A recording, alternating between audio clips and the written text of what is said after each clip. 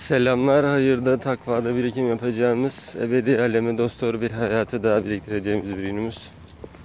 Allah'ın izniyle bugün de ibadetlerimizi hakkıyla eda ederek mutluyuz, huzurluyuz, sağlıklıyız.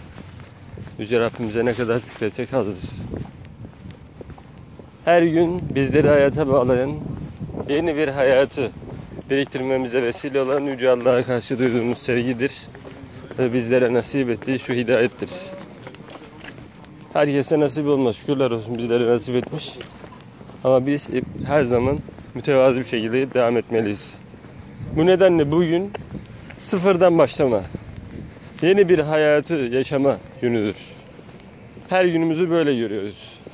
Geçmişimiz bir şekilde yaşandı ve inşallah Yüce Allah'ın rızasına uygundur. Biz ileriye, geleceğe, hayatımızın son anına kadar, o ecel vaktine kadar dost doğru bir şekilde devam edeceğiz. En büyük zenginliğimiz takvamızdır.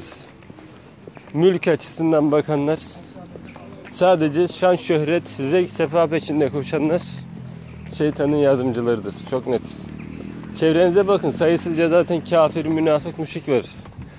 Sadece tek dertleri şu dünyadaki makam mevkilere ulaşmak, her türlü haram batılla uğraşmak. Bunlarla bunlardan olmayın. Bunlar helak olmaya mahkum mahluklar, insan daha iyi değildir. Bu kadar net.